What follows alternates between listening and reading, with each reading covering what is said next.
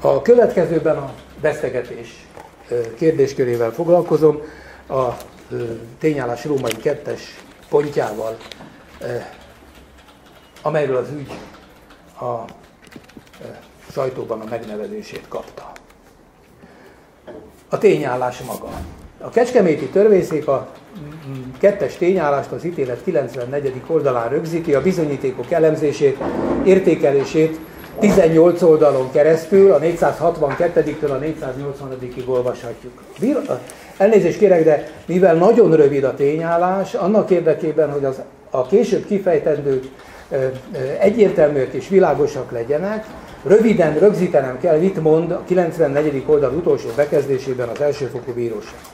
Nem volt kétséget kizáróan bizonyítható, hogy Agyó Miklós elsőrendű vádlott, arra utasította volna Balogh Zsoltot, hogy évente 15 millió forintot adjon át a részére. Mivel ilyen utasítás megtörténte nem volt bizonyítható, az sem volt bizonyítható, hogy követelésének nyomatékosítása érdekében Hagyó Miklós elsőrendű vádlott megfenyegette volna Balogh Zsoltot. Az sem nyer bizonyítást, hogy Balogh Zsolt 2009 évben 15 millió forintot juttatott volna Hagyó Miklós elsőrendű vádlottnak.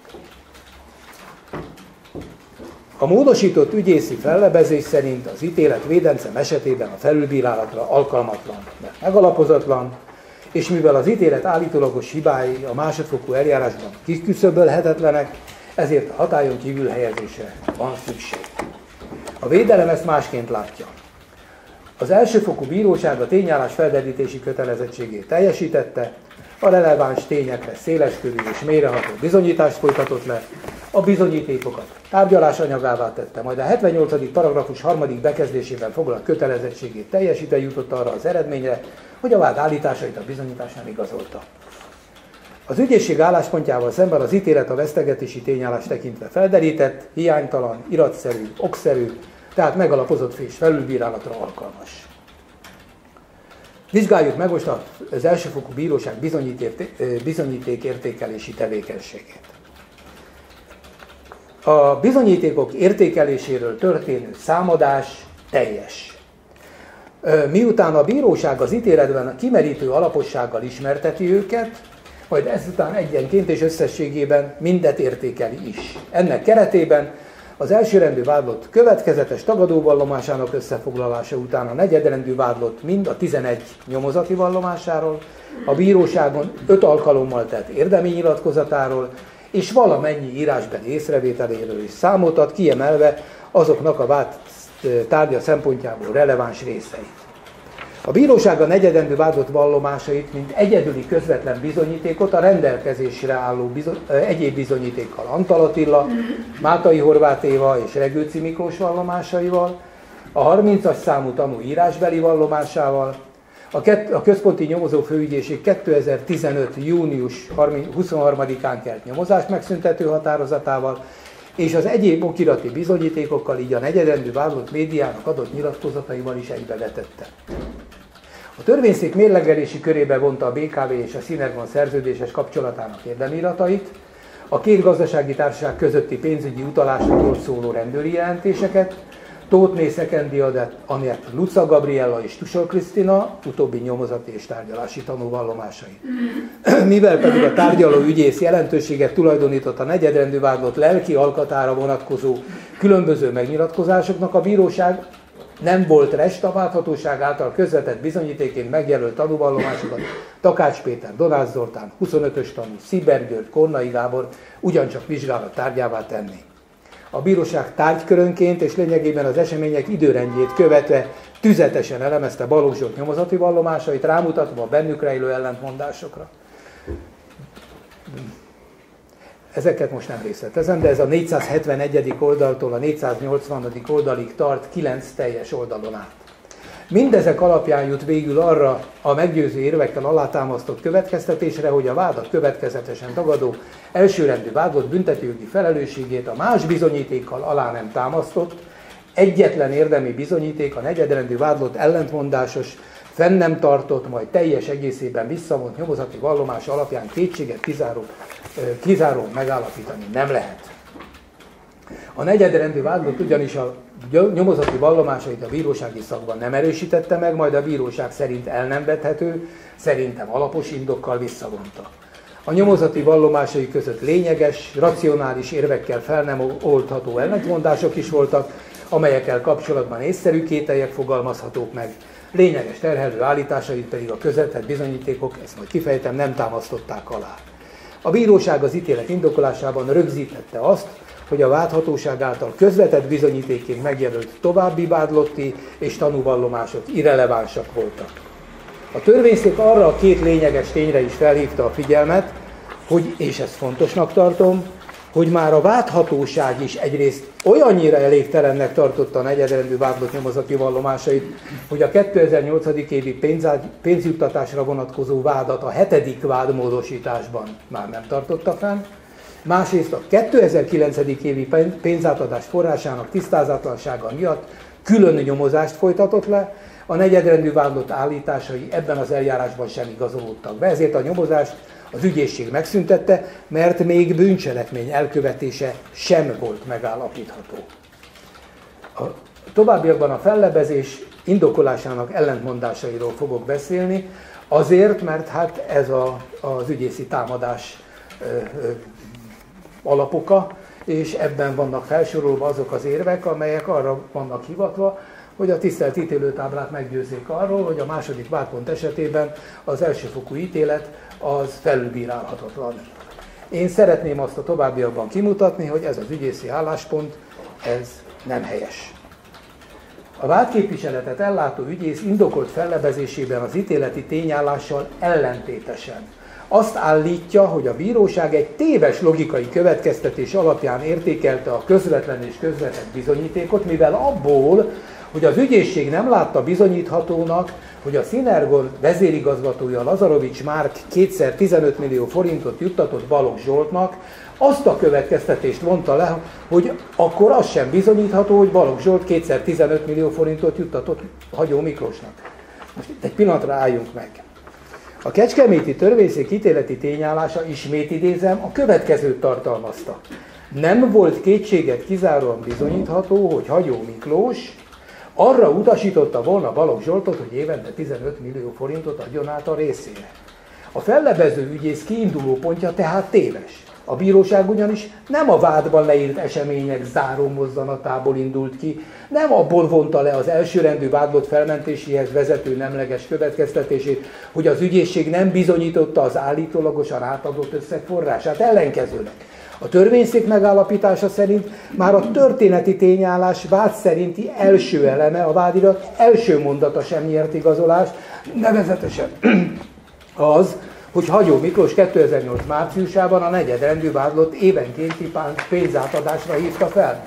Az ítélet lényegében azt mondta ki, hogy nem volt olyan alkalom, amikor Hagyó Miklós a negyedrendű vádlottat pénzátadására utasította. A bíróság ebből vonta azt az egyedül lehetséges logikus következtetés, hogy ilyen utasítás hiányában sem annak teljesítésére irányuló fenyegetés, pedig, sem pedig a pénzátadás nem történt meg.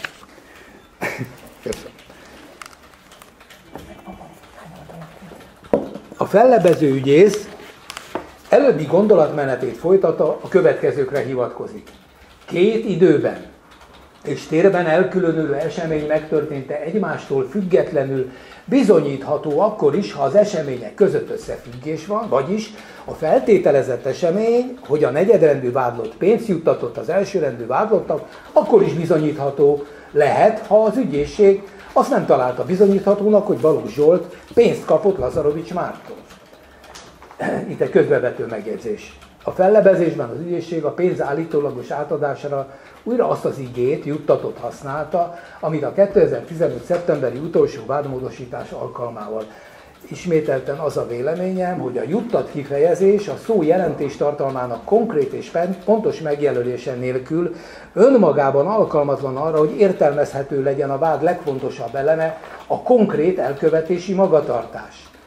Nem azt állítom, hogy ez a törvényes vált követelményeit nem elégíti ki, csak azt mondtam, azt állítom, hogy ez kellően homályos és általános ahhoz, hogy azután az ügyészségnek ne kelljen konkrétan bebizonyítani azt, hogy a juttatás hogyan és milyen módon történt. Ez tulajdonképpen egy sajátos, önmentő ügyészi közelítésmód. Bocsánatot kérek, a zárójel bezárta. Az ügyészi érvelés nincs összhangban az iratok tartalmával, tehát iranos, iratellenes már, mint az, amit az előbb felidéztem az ügyészi fellebezésből. Általánosságban és a jelen ügytől elvonatkoztatva a fellebező ügyész állítása igaz is lehetne, mert hiszen általában véve valamely esemény perbeli bizonyítatlansága nem hat ki egy másik esemény bizonyíthatóságára. A most tárgyalt ügyre azonban ez a megállapítás a logika szabályai és az okszerű mérlegelés szempontjából egyáltalán nem alkalmazható, mert és téves. A negyedrendű vádlott ugyanis a nyomozati vallomásaiban a szóban forgó összeg személyi forrásaként egymástól eltérő időpontokat, helyszíneket és körülményeket megjelölve, de mindenkor és kizárólag a Synergon vezetőjét jelölte meg. A lefolytatott bizonyítási eljárás során ettől eltérő más eredet, származás, illetve a pénzforrásaként más személy, mint Azarovics már, soha nem merült fel, soha nem jöhetett szóba. Ezért tökéletesen egyetértek az ítélettel abban, hogy a vádirati tényállásra leszűkítve az, hogy ha nincs igazolva a pénzátvétel, akkor egyéb adatok hiányában egy azon pénz továbbítása sem bizonyítható, azt jelenti, hogy ha nem bizonyítható, hogy Balogh Zsolt az általa elmondottak szerint Lazarovics Mártól pénzt kapott volna, ugyan, ugyanazon bizonyítási anyag alapján logikai hibába ütközhet annak bizonyított tényként való megállapítása, hogy ezt a pénzt átadta Hagyó Miklós elsőrendű vádlottnak. Ugyanakkor Balogh Zsolt mondja az elsőfokú ítélet a 473. oldal második bekezdésében, csak ez a forrás merült fel a pénzátadás kapcsán. Ami az ügyészasszony átiratának, ö, ö, átiratára vonatkozó észrevételeimet illeti, azok a következők. És ez most már tulajdonképpen a konkrét érvelés, amit itt a tárgyaláson hallottunk, és az ahhoz kapcsolódó indítvány.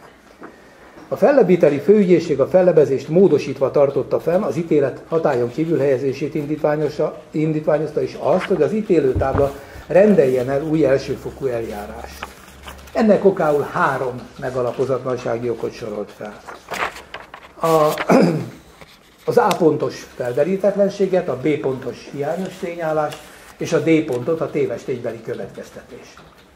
Az ügyészség álláspontja szerint az elsőfokú ítélet megalapozatlansága a felmentette vádlottak esetében oly mértékű, amely csak igen terjedelmes bizonyítás lefolytatásával lenne kiküszöbölhető, az a bizonyítási eljárás szinte teljes megismétlését igényelni, ami a másodfokú eljárás keretei között nem kivitelezhető. Másrészt a, a megalapozatlansági ok kihat az érintett vádlottak bűnösségére, azaz ügy érdemére is, ehhez képest csak hatályon kívül helyezés lehetséges.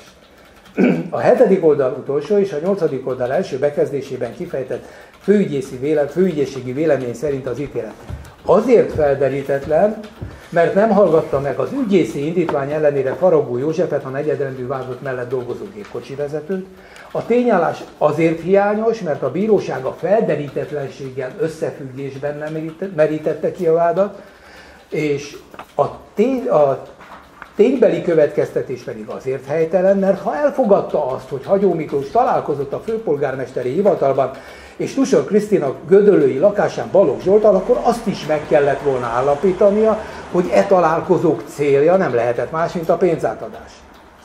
Az átirat a jogszabályhely megjelölése ugyan, de vélhetően a 373. szakasz első bekezdés három, római 3 per A pontját szem előtt tartva azt is kifogásolja, hogy a törvényszék nem tett eleget indokolási kötelezettségének, mert a bíróság a kettes tényállási pontra vonatkozó bizonyíték értékelése során nem fejtette ki részletesen, hogy miért vetette el a negyedrendű vádlott nyomozás során éveken át fenntartott vallomását, amelyet a többi tényállási pontnál viszont elfogadott.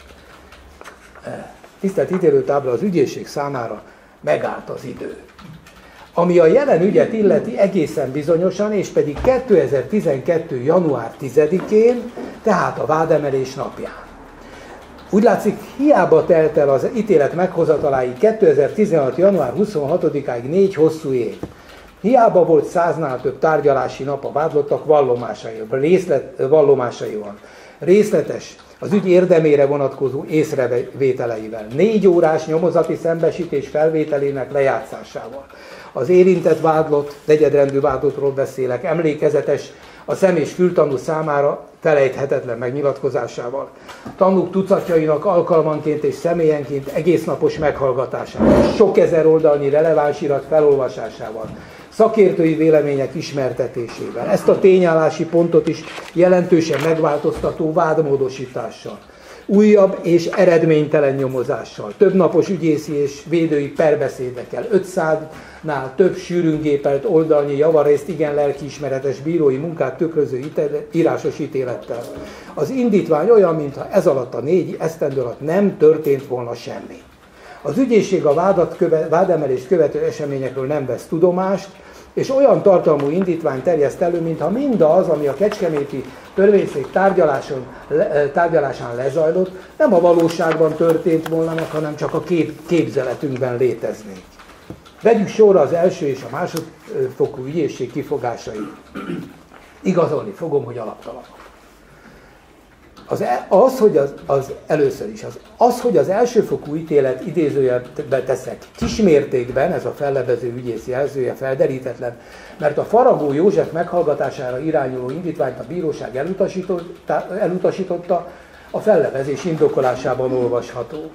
Az ügyészség álláspontja szerint a tanú arról tudott be, volna beszámolni, hogy a sofőr, bocsánat, Balogh Zsoltot több alkalommal szállította Budapest belvárosába, egy ízben a negyedrendű vádlott fehér, átlátszatlan nejlontáskával tért vissza az autóhoz. Az ügyészség úgy látja, hogy nem fogadható el az elsőfokú bíróság azon érve, amely szerint Faragó József kihallgatására irányuló bizonyítási indítványt azért utasította el, mert a tanú vallomását az ügyészség a pénz megszerzésének felderítése miatti eljárás megszüntetésekor már értékelte. Az ügyészség ugyanis úgy vél idézem, ez a vallomás nem csak a pénz megszerzése körében értékelhető, hanem közvetetten Hagyó Miklósnak történt átadásának bizonyítására is, hiszen Balogh Zsolt vallomása szerint miután az ötödik kerületben nejlontáskában megkapta a pénzt, azt azonnal a nejlontáskában vitte Hagyó Miklóshoz. Mivel a bíróság Faragó József vallomásának közvetett bizonyítékként történő értékelését elmulasztotta, emiatt az ítéleti tényállás felderítetlen. A másodfokú ügyészség már túlmegy ezen az érvelésen, mert a felderítetlenség szerinte nem kismértékű, hiszen súlyos, másrészt mert befejezett és egyúttal igazolt tényként állítja azt, amit a bíróság a negyedrendű vádlott vallomásából kifejezetten elvetett, nevezetesen, hogy Balogh Zsolt a 15 millió forintot átvette és továbbította, és hogy erre éppen akkor került sor, amikor Faragó József a negyedrendű vádlottat fuvarozta. Az ügyészség azért tartja indokoltnak a megismételt eljárást, mert, és most szó szerint idézem, a negyedrendű vádlottat a pénz átadásakor a helyszínre szállító sofőrnek a tanúkénti kihallgatása, a 15 millió forint eljuttatásával kapcsolatban felmerült ellentmondások feloldása és Balogh József negyedrendű vádlott szavahihetőnek tisztázása érdekében szükséges. Most eltekintve attól a nem jelentős de az érintettek nyilván zavaró körülménytől át, átirat emelésze a, egy bekezdésben a negyedrendű vádlott nevét nem tüntetik fel fontosan, a lényegre összpontosítva. Érdemi kérdésként az merül fel, hogyha az ügy, másodfokú ügyés, hogy a másodfokú ügyészség miként állíthatja befejezett tényként azt, hogy egyáltalán történt pénzátadás, amelyről a törvényszék azt állapította meg, hogy a megtörténte nincs bizonyítva. Az elsőfokú ítélet tartalmával ellentétben mi, miként lehet azt kijelenteni, hogy a negyedrendű vádlottat a tanú vitte oda, ha nem tudjuk sem a fuvarozás időpontját, sem annak útját, sem annak célját. Honnan tudható, miként állítható valami esemény helye, ideje és körülményei, ami igazolta meg sem valósul. Tehát ellentétben az ügyészi állásponttal nem a tényállás felderítetlen, hanem az ezzel összefüggésben hangoztatott ügyészi érvelés alaptalan. Az ügyészség álláspontja már csak azért is érthetetlen, mert nem csak az első bírói bizonyítékértékelési, mérlegelési tevékenységet támadja, amire nincs törvényes lehetőség, hanem azért, mert ezzel a saját nyomozati tevékenységének a színvonalát is minősíti. Védőként én természetesen tisztában vagyok a másodfokú eljárás kereteivel, és nem áll szándékomban a tisztelt ítélőtábla türelmével visszaélni. Tekintettel azonban arra, hogy az érdemi indítvány tevő fellebbviteli főügyészség nagy jelentőséget tulajdonít Faragó József vallomástétele elmaradásának, amire elsősorban az elsőrendű vádlottal szemben hozott ítélet hatályon kívül helyezését kívánja alapítani, arra kényszerülök, hogy a tanú vallomásának tartalmára, valamint az őt érintő ügyészi eljárása részletesen kitérjek. Miről van szó? Kezdjük az elején. A legfőbb ügyészség kiemelt ügyek főosztálya 2010. május 20-án ezt az ügyet saját hatáskörében vonta. Faragó József tanúkénti kihallgatására ezt követően három hónappal, augusztus 31-én került sor, a tanú a többek között az alábbiakról számolt be. Mivel sofőr, lévé, sofőr lévén az autóban maradt, nem látta, hogy Balogh Zsolt hol vagy kivel találkozott. A negyedrendű vádlott olyan nagyméretű csomaggal, amely feltűnő lett volna, sohasem jött vissza, általában fehér, de átlátszatlan nejlonszatyrot vitt vagy kapott, Ilyet ő többször is látott, látta, de hogy, látott nála, de hogy mi volt benne, azt nem tudja. Balog tudta róla, mondja Faragó József, hogy a BKV-hoz kerülésem előtt rendőr voltam, konkrétan bűnügyi technikus és a osztályvezető helyettes, Balogot elsősorban a közlekedési helyszínelés értékelte. Egy 2009 tavaszi-nyári belvárosi út kapcsán azt mondta. Azzal kapcsolatban nem tudok nyilatkozni, hogy amikor Balog visszatért, akkor volt-e nála nejlanszatja. Összesen három alkalommal vittem Balogot a belvárosba, a Falkmikse utca környékére, és az biztos, hogy ezen alkalmak egyike során fehér nejlonszatyorral tért vissza a kocsihoz, de azzal kapcsolatban nem tudok nyilatkozni, hogy mi volt a tartalma. Kérdésre elmondom, Balog nekem soha nem tett említést arról, hogy ezen alkalmakkor kivel és pontosan hol találkozott, miről beszélgettek, mi történt vele. Kérdésre elmondom, hogy Balog mindig kedélyesen viselkedett velem, nem látszott rajta, hogy gondterhelt lett volna. Kérdésre elmondom, hogy Balogot egyébként nagyon sok helyre vittem a városban. Kérdésre elmondom, hogy nekem Balog sohasem említette, hogy hagyóval miről beszélt, vagy mit mondott neki, és előttem a kocsiban nem beszélt hagy, telefonon hagyóval, és előttem mással sem beszélt hagyóról, vagy arról, hogy mit mondott neki, vagy mire utasította. Kérdésre elmondom, Hagyó Miklóssal én sohasem találkoztam, kérdésre elmondom, hogy Balogh Zsoltot soha nem vittem Gödöllőre.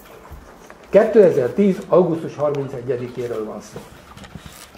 A tanú 2010-ben tette egy, tett, és az egy évvel korábbi 2009. évi történésekről szóló vallomása úgy foglalható össze, hogy Farógor József arról, miszerint az elsőrendű vádlott utasította-e valaha negyedrendű vádlottat pénz átadására, megfenyegette a pénz átadása érdekében, valamint a negyedrendű vádlott juttatott-e valaha pénzt az elsőrendű vádlottnak, sem közvetlenül, sem közvette, semmiféle információt nem közölt, hát nyilván azért, mert ezekről a tényekről neki nem volt tudomása.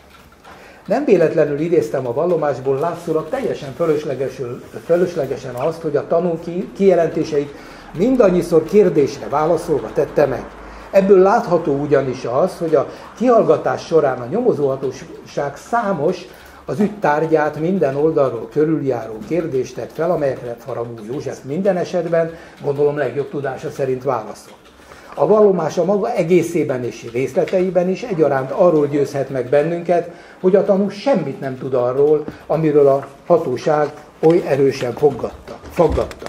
Jelzem, a vallomásból az is kiderül, a negyedrendű vádlott tudatában volt annak, hogy a tanú korábban rendőr volt, ennek ellenére nem közölt vele semmit, nem kért tőle tanácsot, illetve Faragó József volt rendőrként, maga sem észlelt gyanús körülményt, amiből a negyedrendű vádlott a több mint kétséges keletkezésű és tartalmi nyomozati vallomásaiban az első rendű vádlottra vonatkozóan beszámolt. Az ügyészség 2012. január 10-én emelt vádot. A vádirat a BE idevágó 217 3 i pontja alapján megjelölte a bizonyítási eszközöket, és hogy azok mely cselekmény vagy, részcselekmény bizonyítására alkalmasak. A második vádpont esetében a felsorolt bizonyítási eszközök között Faragó József tanúvallomása egyáltalán nem szerepel. Az ügyészség sem az ő személyes meghallgatására, sem a nyomozás során tett vallomásának a BE 217. szakasz harmadik bekezdés H pontja alapján történő felolvasására nem tett indítványt. Annak ellenére tehát, hogy az ügyészségnek 2012. januárjában Faragó József tanúként tett vallomása rendelkezésére áll, bizonyítékként felhasználható lett volna. A válthatóság a benne foglaltaknak, illetve a tanú személyének a vád szempontjából semmiféle jelentőséget nem tulajdonított, nyilván nem véletlenül, hanem azért, mert a vallomás tartalmát a bizonyítás szempontjából értéktelennek vagy értéktelen, értékelhetetlennek tartotta. A tárgyaló ügyész a tanúvallomástétele után öt teljes évvel, a vádemeléshez képest három évvel, 2015. március 31-én terjesztette elő először a Faragó József tárgyalási meghallgatására vonatkozó bizonyítási indítványát. Az indítvány indokolásában a vádhatóság arra hivatkozott, hogy a nyomozás során is kihallgatott tanú vallomása a második vádponthoz kapcsolódóan alkalmas arra, hogy a 2009. évben történt pénzátadás vonatkozásában támpontot adjon Balogh nyomozati vallomása hitelességének megítéléséhez. Az indítványt akkor sem értettem, éppen úgy nem értettem, ahogy most sem találok rá észszerű magyarázatot.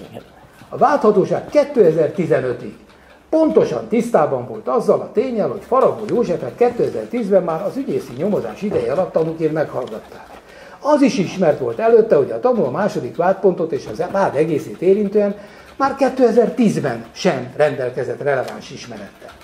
Arra a kérdésre, hogy ehhez képest milyen valós bizonyítási oka volt arra az ügyészségnek, hogy a bírósági eljárás harmadik évében az eljárás előbbre, vitelére nyilvánvalóan alkalmatlan bizonyítási indítványt előterjessze, nem tudom a választ.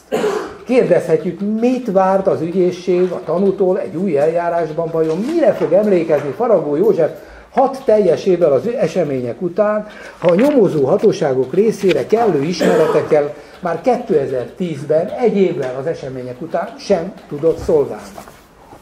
Ami tény, a bizonyítási indítvány 2015. március 31-én kelt előtte március, a március 12-én tartott tárgyaláson az elsőrendű és a negyedrendű vádlott között 2010. szeptemberében lezajlott szembesítésről készült videó felvétel lejátszása után a negyedrendű vádlott azt mondta, hogy a vád amúgy alappillérének tekintett szembesítésen tett vallomását nem tartja fenn, Hagyó Miklós őt semmilyen törvénytelenségre nem utasította, neki semmilyen pénzt nem adott át.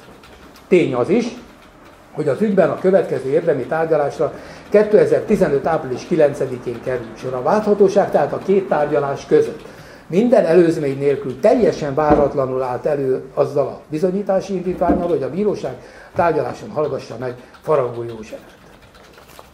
Meggyőződésem, hogy a március 12-én történt a szembesítésre vonatkozó tárgyalási nyilatkozat és a 2015. március 31-én kelt, vádindítvány, kelt indítvány között mélyebb az összefüggés, mint a puszta időbeli közelség. A vádhatóság észlelte, hogy az egyébként is teljes mértékben ingatag vád tovább dől, sőt teljesen összeomlani látszik, ezért talán időnyerés céljából, vagy fordulatot remélve, de úgy döntött, hogy megpróbálkozik valamivel, egy olyan tanúnak a bevonásával, aki pedig már öt évvel korábban sem tudott releváns információval szolgálni, az ügyészség szerint sem. A 2015. június 25-én tartott tárgyaláson az eljáró ügyész becsatolta ezt a bizonyos nevezetes nyomozás megszüntető határozatot. A védelem és tudomásunk szerint a bíróság is ekkor szerzett tudomást arról, hogy időközben az ügyészség, miközben tehát folyt a büntető eljárás ebben az ügyben, Közelebbről a központi nyomozófőügyészség a folyamatban lévő bírósági eljárás mellett a második pártpontra vonatkozóan 2012. november 9-én nyomozást rendelt el, és folytatott le, nyomozás a bírósági eljárással párhuzamosan négy hónap híján három teljes évig tartott. A megszüntető határozatból kiderült, hogy Faragó Józsefet az ügyészség ebben a bizonyos nyomozásban meghallgatta. A tanú fenntartotta a 2010-ben tett nyomozati vallomását, és a következőképp nyilatkozott. Elmondta, Balogh Zsoltot nem látta nagy méretű feltűnő csomaggal, bocsánatot kérek közlekedni, de fehér átlátszatlan nejlonszatyot több alkalommal látott nála. A nejlonszatyok tartalmáról, valamint arról, hogy Balogh Zsolt hol kivel találkozott, mikor, amikor nejlonszatyor voltál, nem tud nyilatkozni. A tanú nem emlékezett olyan esetre, hogy az, akivel Balogh Zsolt találkozott, az Audi A8-as gépkocsival érkezett volna, azt mondta, történhetett ő ilyen, de ő nem látta a gépkocsit. És kijelentette, hogy Lazarovicsot nem ismeri, a fényképeinek, elő, fényképének elébetárása után azt vallotta, nem emlékszik, hogy valaha látta volna. A főügyész által jegyzett megszüntető határozatból egyértelműen megállapítható, Faragó József, ahogy 2010-ben nem emlékezett semmire, vagy semmi lényegesre, és nem tudott az ügy szempontjából érdemi adattal szolgálni, úgy, amit ez természetes, évekkel később sem emlékezett olyan tényre, vagy olyan körülményre, ami a második vádpont szempontjából jelentőséggel bír. Visszatérve tehát a főügyészségi indítványra, a következőket állapíthatjuk meg. Az ügyészség azon személy tárgyalási kihallgatásának elmaradását rója fel a törvényszéknek, akit két különböző nyomozás során tanúként már kétszer is meghallgattak, és akinek a vád szempontjából érdemi információt nem tartalmazó vallomását először a vád összeállításánál, másodszor pedig a megszüntető határozat indokolása szerint is alkalmatlannak tartotta arra, hogy a vádat igazoló bizonyítékként figyelembe vegye. Mindezek ellenére a válthatóság azt állítja, hogy a konkrét ismeretekkel szerinte sem rendelkező tanú meghallgatására vonatkozó ügyészi bizonyítási indítvány elutasítása folytán az elsőfokú ítélet a tényállás felderítetlensége miatt megalapozatlan. Az ügyészi állítás téves és önellentmondó. A Kecskeméti törvényszék a Faragó József személyes meghallgatására vonatkozó ügyészi indítványt indokoltan utasította el. Mivel pedig a másodfokú, a, a kettes vádpont tényállásának felderítése a lehetséges körben teljes volt, a vonatkozó főügyészségi indítvány alaptalan. Nem a megalapozatlanság körébe tartozó, hanem indokolási kérdés. De ide kívánkozik annak a megállapításnak a kritikája, hogy a bíróság a negyedrendű vádlott vallomását azért vetette el, mert ahogy az átirat fogalmaz, a tanú nem tudott minden alkalommal, minden részletre visszaemlékezni. Az átirat lakonikus megállapítása alapján az ítélet beható ismerete nélkül az a hamis benyomás alakulhat ki az emberben, hogy a törvényszék racionális okfejtés észszerű indok ön, nélkül önkényesen vetette el a negyedrendű vádlott amúgy következetes vallomását. A valós helyzet azonban nem ez. Az ítélet Balogh Zsolt valamennyi vallomását részletekbe menő alapossággal ismerteti, azok tüzetes elemzése követi mindezt a 471. oldaltól, mint jeleztem a 478. oldalig. Ezt nyilván nem ismétlem meg. Ugyanakkor felhívom a figyelmet arra, hogy az ítélet e részében a bíróság vallomásról vallomásra, állításról állításra, témakörről témakörre haladva fogalmazza meg a vallomás hitelességével kapcsolatos fel, aggájait, és ez iratszerű megállapításokkal, ezeket iratszerű megállapításokkal erősíti meg.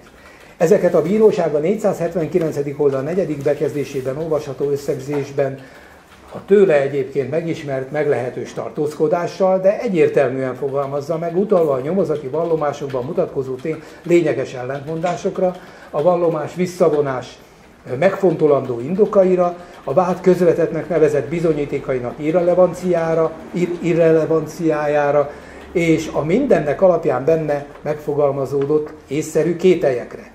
A törvényszék okkal tulajdonított, bocsánatot kérek, a törvényszék okkal tulajdonított nagy jelentőséget annak is, hogy maga a válthatóság sem adott hitelt a negyedrendű vádlott 2008-as pénzátadásra vonatkozó vallomásának, és az újraindított közel három éven át nagy erőkkel folytatott nyomozás is megszüntetéssel zárult.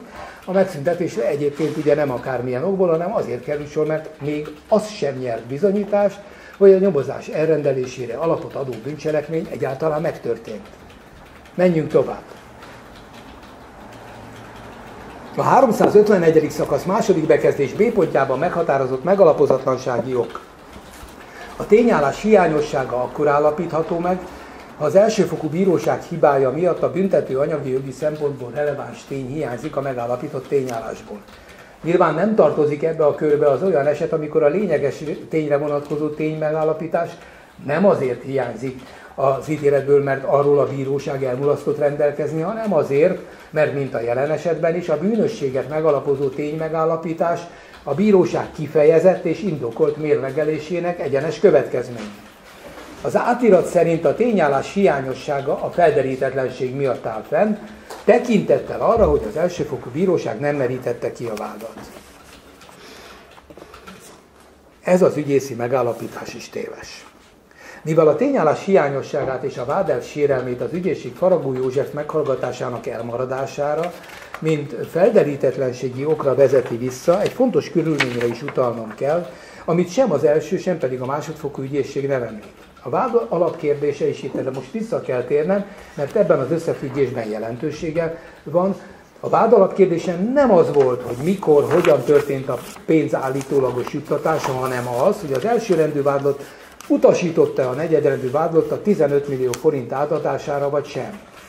Arra nézve, hogy 2008 márciusában Gödöllőn milyen tartalmú beszélgetés folyt Hagyó Miklós és Balogh Zsolt között, elhangzott-e a pénz átadására irányuló utasítás, az a Faragó József tanú, aki ekkor nem tartózkodott a helyszínen, és aki csak 2009 év elejétől 2009. július 31-éig volt a negyedrendű vádlott gépkocsi vezetője, hiteles információval nyilván nem rendelkezhet. Az a megalapozatlansági ok, a felderítetlenség, amely az ügyészi fellebezés és indokolás alapja, ez a megalapozatlansági ok tehát nem lehet összefüggésben ezzel a tény megállapítással, illetve a vád kimerítésével. Az ítélet tényállása tehát a Faragó József kihallgatására vonatkozó indítvány elutasítása miatt nem válhatott hiányossá. Hibás viszont az átirat 8. oldalának első bekezdésében írt ügyészi álláspontot jellemző az a logika, amely csak azt a tényállást tartja hiánytalannak, amely tartalmában azonos a váddal. Ez szerint fel, a felmentő ítélet mindig megalapozatlan, kivéve persze a felmentésre az ügyészség tesz indítványt, nem a jelen esetre gondolok. Szemben viszont az ügyészség véleményével az elsőfokú bíróság, pontosabban az ítélet, a vádat teljesen kimerítette. A vádban ugyanis három terhelőállítás van. Egy. Hagyó Miklós hivatali helyzetével visszaélve 2008-ban meghatározott évenkénti összeg átadására szólította fel Balogh Zsoltot. Kettő. Ha az negyedrendű vádlott nem ennek az utasításnak megfelelően cselekszik, ellehetetleníti őt. Három. Az elsőrendű vádlott erőszakosságával félelmet ébresztett a negyedrendű vádlottban, ki emiatt 2009-ben a pénzt átadta az elsőrendű vádlottnak. Az ítélet 94. oldalának utolsó bekezdése pontosan lefedi a vádat, annak minden mozzanatát kimeríti. Másképpen fogalmazva, nincs olyan megállapítás a vádban, amelyre az ítéleti tényállás ne adna egyértelmű és tételes választ. Természetesen nem jelenti a vád sérelmét, hogy ez a válasz minden érdemi kérdésben kifejezetten nemleges. Kérlek, egy pillanat türelmet kérek, csak az a helyzet, hogy így most jó. A BE 351.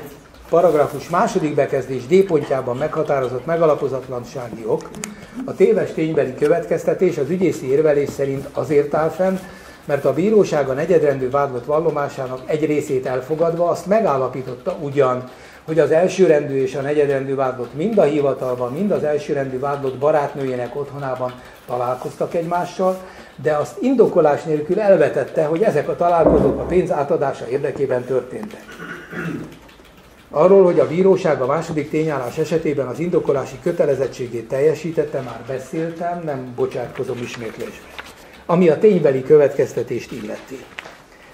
Ténybeli következtetés esetében valamely bizonyított tényből a logika szabályai szerint történik következtetés a nem bizonyított tényre, amely éppen a logikai következtetés során válik a tényállás részévé. A bíróság ténymegállapító tevékenysége során a ténybeli következtetés levonására akkor van szükség, ha a bizonyítandó tényre vonatkozóan nincs elfogadott közvetlen bizonyíték.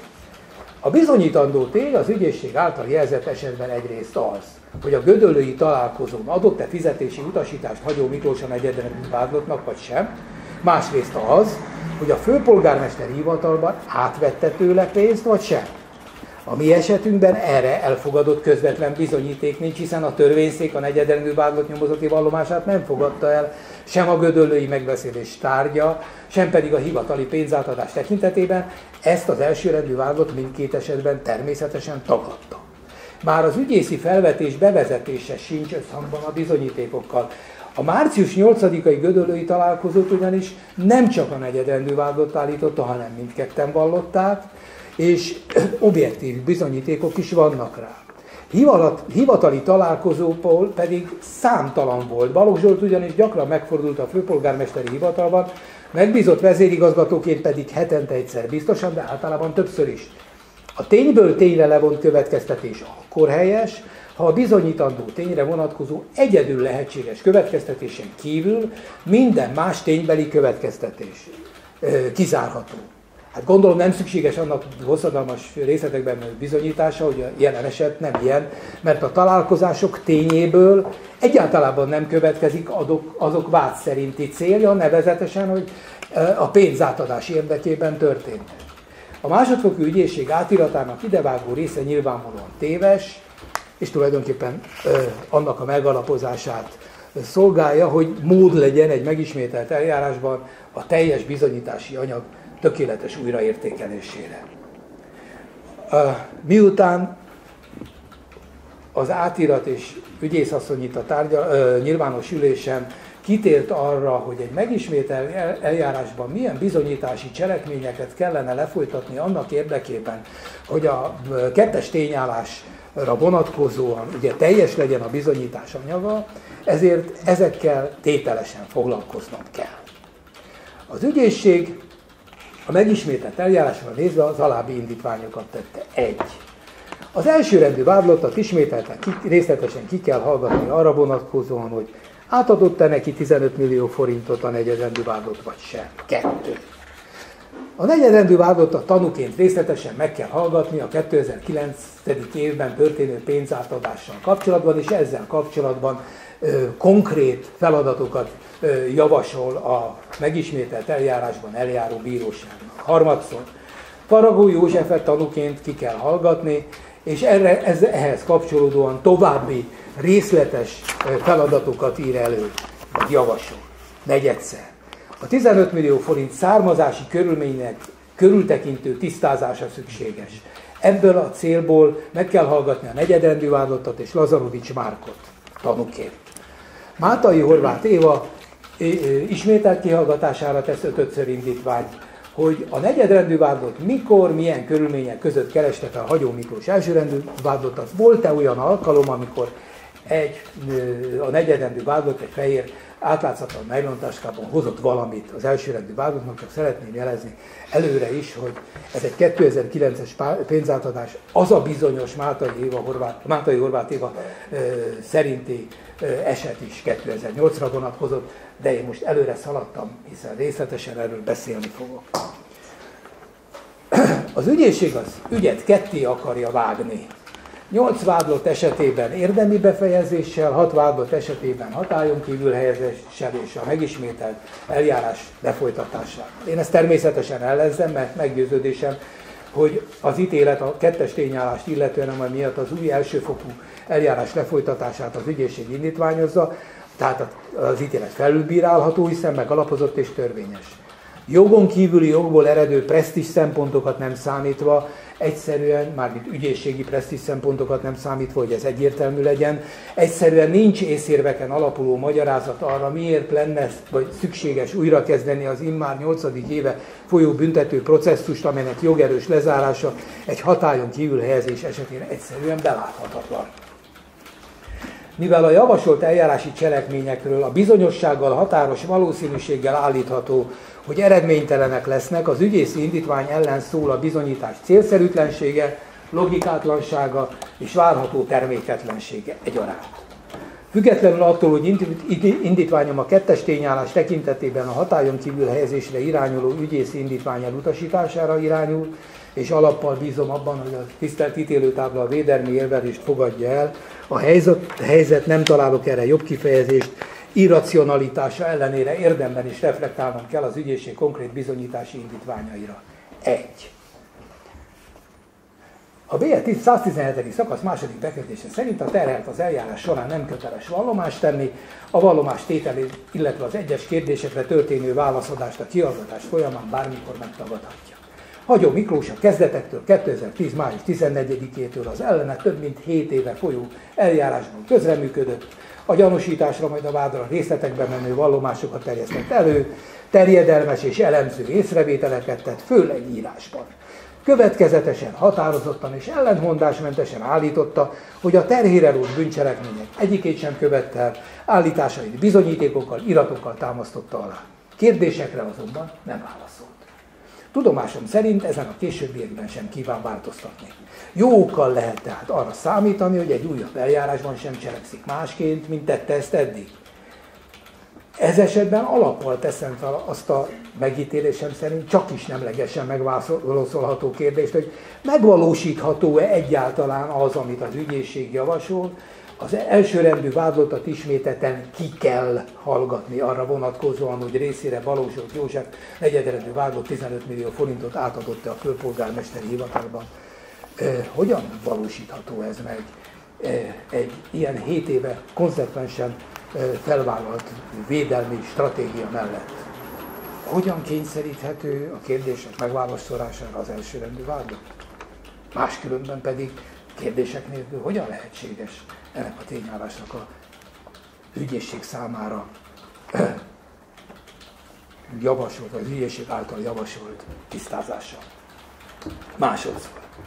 Az ügyészi indítvány elfogadása esetén a negyedrendű vádlott abban a csoportba kerülne, tehát Balogh Zsolt, amelyre végrehajtandó szabadságvesztés vár, ez esetben Balogh Zsoltot a védelmszemmel szemben folyó új eljárásban mint jogerősen elítéltet a büntetés végrehajtási intézetből állítanák elő, és tanúként hallgatnák meg. Újabb kérdésem, hogy mit vár az ügyészség, milyen eredményre számít a negyedrendű vádlott majdani tanú meghallgatásától.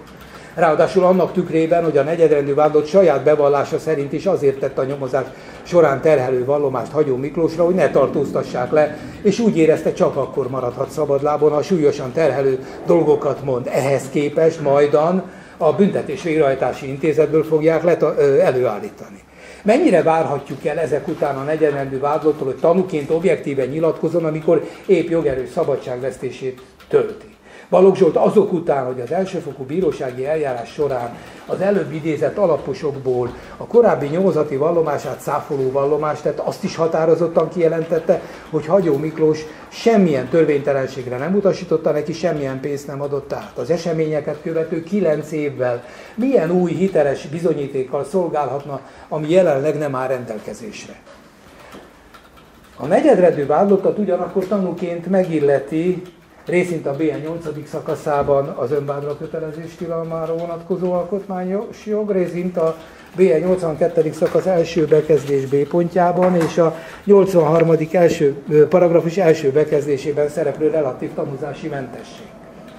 E körben hívom fel a figyelmet, a tisztelt ítélő, e, e körben hívom fel a tisztelt ítélő tábla figyelmét, egy a döntéshozatal során megfontolásra érdemes, eddig talán figyelembe nem vett körülményre, ami egyébként a negyedrendű vádlott tanúzási képességét és az ő jogi helyzetét egyrészt megvilágítja, másrészt jellemzi.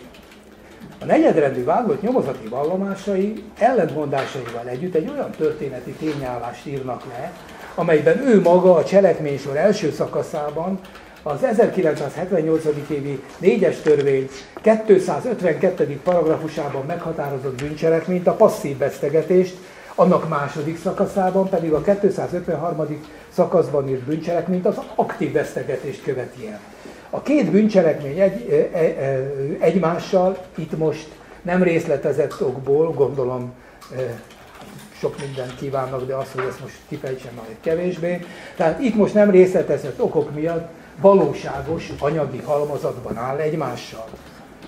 Az aktív vesztegetést illetően a negyedrendű vádott javára alkalmazható a BTK elkövetéskor hatályos 255 per A, paragrafus, a paragrafusa, a passzív vesztegetés esetében azonban nem, mert a büntethetőség hiánya passzív vesztegetésnél az elkövetéskor és a jelenkor, jelenleg hatályos szabályok alapján egyaránt kizárólag azt illeti meg, aki a kapott jogtalan vagyoni előtt, vagy annak ellenértékét a hatóságnak átadja.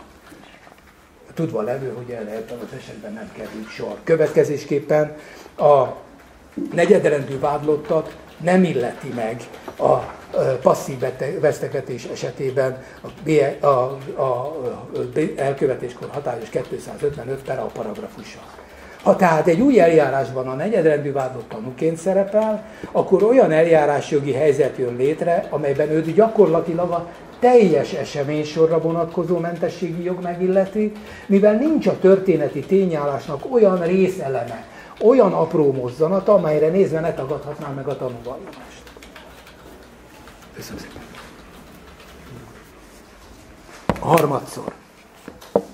Faragó József meghallgatásáról már sokat beszéltem, nem teszem próbára a tisztelt, tisztelt ítélőtábla türelmét, csak ismétlésekbe bocsátkozhatnék. Azért itt is felteszek egy kérdést.